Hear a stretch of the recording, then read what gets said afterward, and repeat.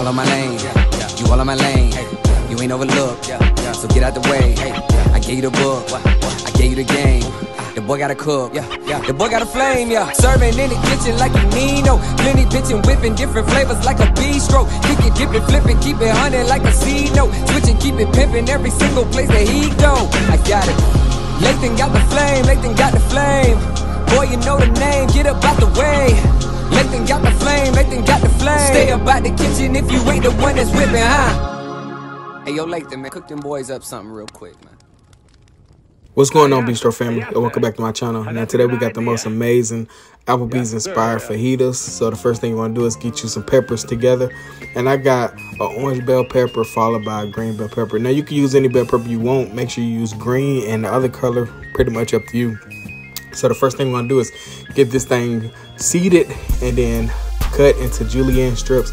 And I did the long julienne strips because, like I said, this is a Applebee's inspired uh, fajitas and I tried to be as authentic to the recipe as possible or what I thought the recipe would be. Then we're going to get a, a whole yellow onion and we're going to julienne that as well. And once you get your peppers and onions together, go ahead and set that aside and we'll begin to saute that here in a second. In a second, but then we want to get our um, steak working. So we got a flank steak here and this is USDA choice flank steak. And we're going to cut it in half. And just because the pan that we're cooking it on is small we don't have a grill then we're going to go ahead and season it up. Um, you do see I added some garlic salt to it.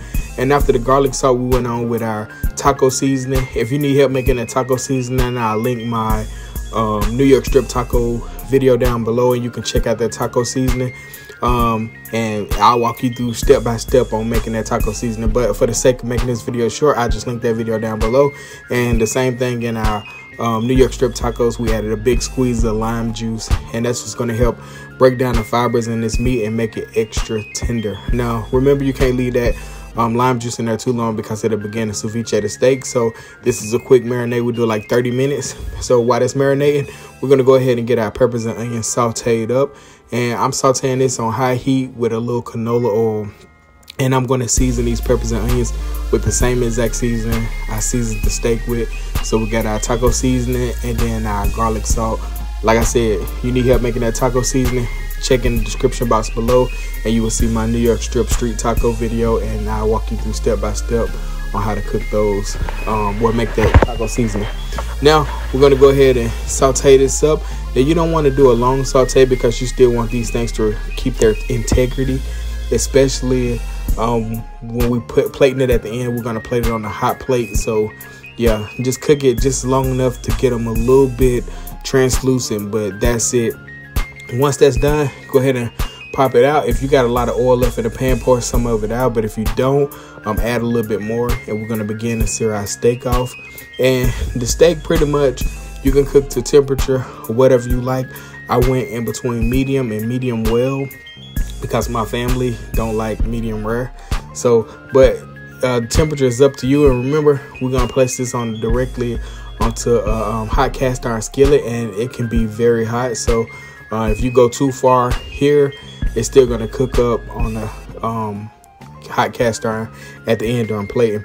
So once you get that steak the way you like it, you see mine, like I said, it's between medium and medium well. We call it medium um, plus.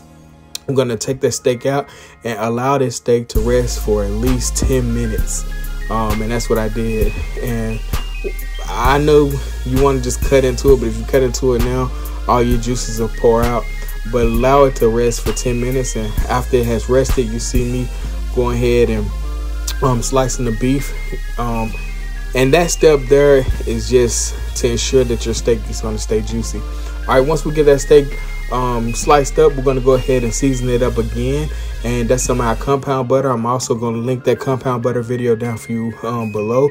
But that's going to get this steak a lot more extra flavor. And then after that compound butter we're going on with another big squeeze of lime because we want that good acidic note. Into these fajitas followed by some fresh cilantro.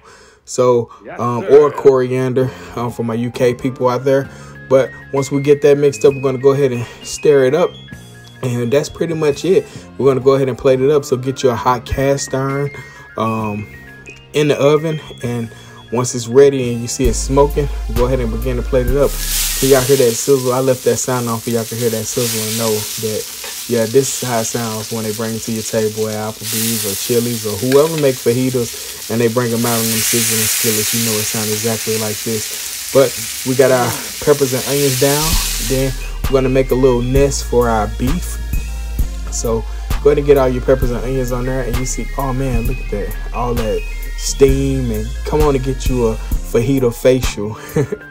but yeah, we got all our peppers and onions down there. We're going on directly with our beef, and that beef is so good and tender and succulent, and it's so flavorful. I'm telling you, by adding the compound butter and the extra lime at the end, it just brightens it all up. Go ahead and put the rest of that juice on there.